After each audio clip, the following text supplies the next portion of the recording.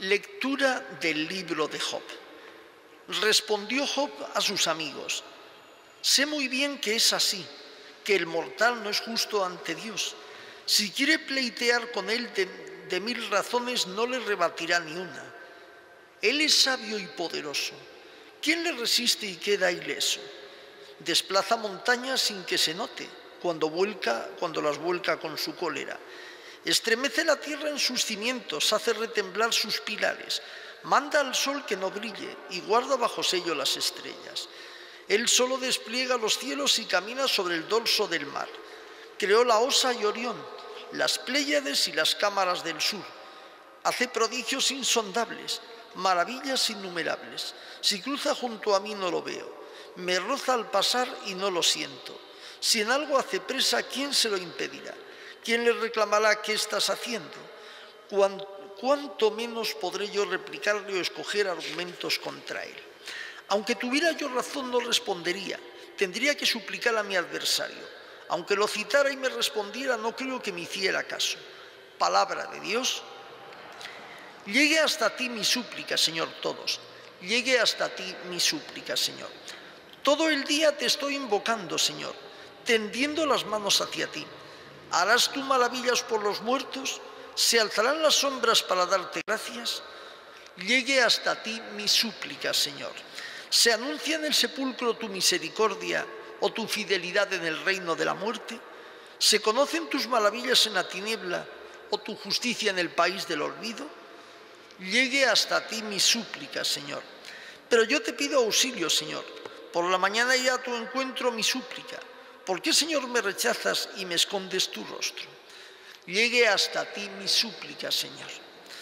Aleluya, aleluya, aleluya. Por él lo perdí todo y todo lo considero basura, con tal de ganar a Cristo y ser hallado en él. Aleluya.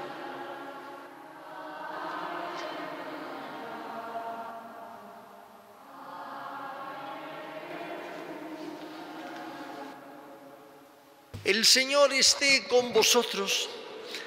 Lectura del Santo Evangelio según San Lucas.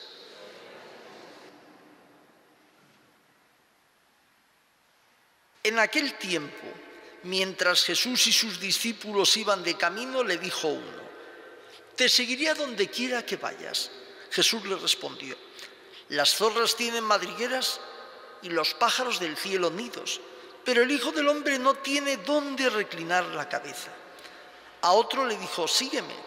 Él respondió, Señor, déjame primero ir a enterrar a mi Padre. Le contestó, deja que los muertos entierren a sus muertos, tú vete a anunciar el reino de Dios. Otro le dijo, te seguiré, Señor, pero déjame primero despedirme de los de mi casa. Jesús le contestó, nadie que pone la mano en el arado y mira hacia atrás vale para el reino de los cielos. Palabra del Señor. Nos sentamos. ¿Cuántas veces reflexionaría todo esto San Jerónimo, verdad? Releyendo la escritura y toda una vida dedicada a la palabra de Dios. Mira, tuvo que dejar todo Incluso hubo un momento en el cual esa vida contemplativa en la que él estaba dedicado, Dios le marcó otro camino distinto. Hoy hemos visto cómo Job, en el camino que Dios le ha trazado providencialmente, porque Dios al final, como sabemos, le dará siete veces más de lo que tiene, Job siempre se pone en manos de Dios, porque sabe que Dios las cosas que permite no las hace fatídicamente, sino que Él está a tu lado aprendid a descubrir en momentos de dificultad que Cristo sufre a nuestro lado, que Cristo está a nuestro lado, que llora a nuestro lado, que nos consuela a nuestro lado y que si nosotros no lo hacemos así con los demás, no entendemos nada de la palabra de Dios. Esto siempre es así. Mira, hoy hemos visto Hemos visto otras veces cómo el Señor dice a los apóstoles, remamar adentro, seguidme, yo haré pescadores de hombres, y le siguen. Un joven rico estaba a punto de seguirle y cuando le dijo, vende todo lo que tienes, ya no.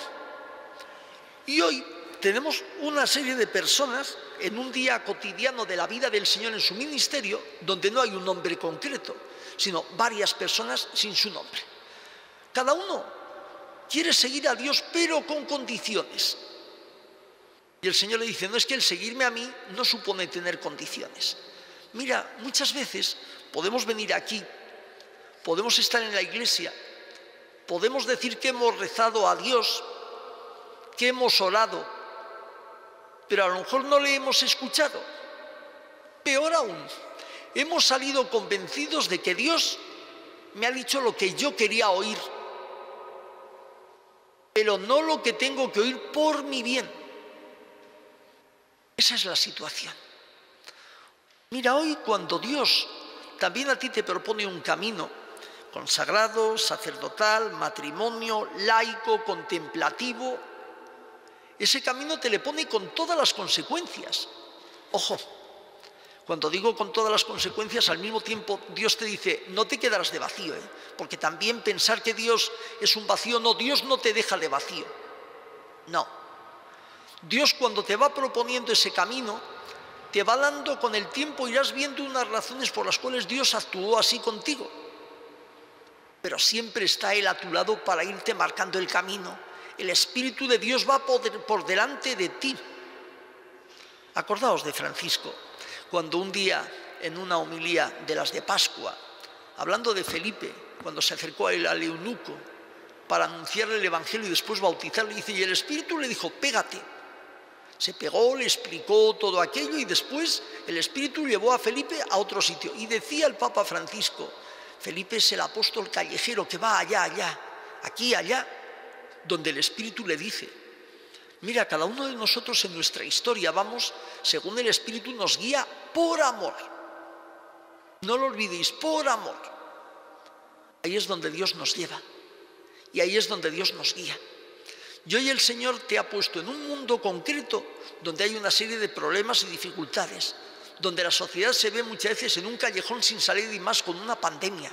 Y Dios te dice, ahí es donde tienes que estar poniendo la mano en el arado de la esperanza, en el arado del consuelo, en el arado del amor, en el arado de la cercanía, en el arado de la solidaridad, siempre desde Dios, no por mera filantropía de un mero amor humano, sino desde Dios, con ese amor que todo lo soporta, que todo lo puede. Mira, Jerónimo dice la historia que tenía un carácter muy duro, pero en esa dureza se fue curtiendo. Y en esa dureza, con ese temperamento, estuvo dispuesto hasta el final con el Señor, en todo lo que le pidió, a pesar de sus defectos, a pesar de sus dificultades.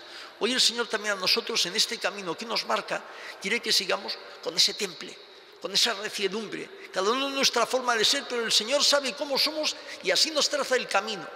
Ahora yo digo, planteate. Le vas a decir a Dios, no, mira, déjame. No, mira, yo te sigo, pero con estas condiciones.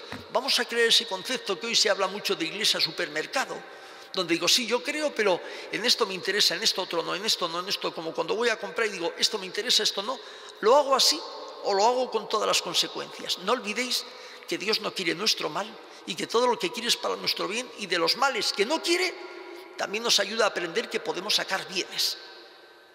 Bueno, pues hoy el Señor cuenta con nosotros para que pongamos la mano en el arado, para que seamos desprendidos, para que entendamos que igual que Él no tuvo donde reclinar la cabeza, si nuestra vida es llenarnos de cosas materiales, nos equivocamos. Y como cristianos así no damos ejemplo.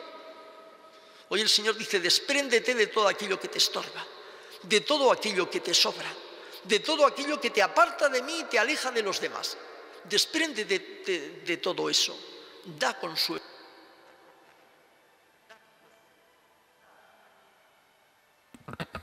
Da ánimo, da esperanza, da todo esto.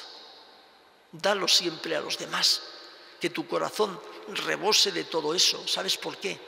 Porque nadie da de lo que no tiene. Nadie lleva lo que no tiene. Y un cántaro tiene que tener agua. Si no tiene agua, malo.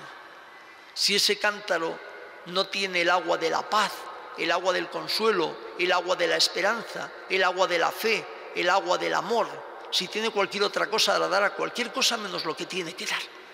Bien, pues vamos ya a continuar con la celebración y le vamos a pedir al Señor por intercesión de nuestra Madre la Virgen que nuestra vida sea siempre vivir desde su amor, que seamos desprendidos porque sabemos que Él nos lo va a pagar y de esa manera daremos el ejemplo de una iglesia pobre que evangeliza, pobre desprendida no de las cosas necesarias, pero que se va quitando de todo hasta a veces de lo necesario para darse y para dar.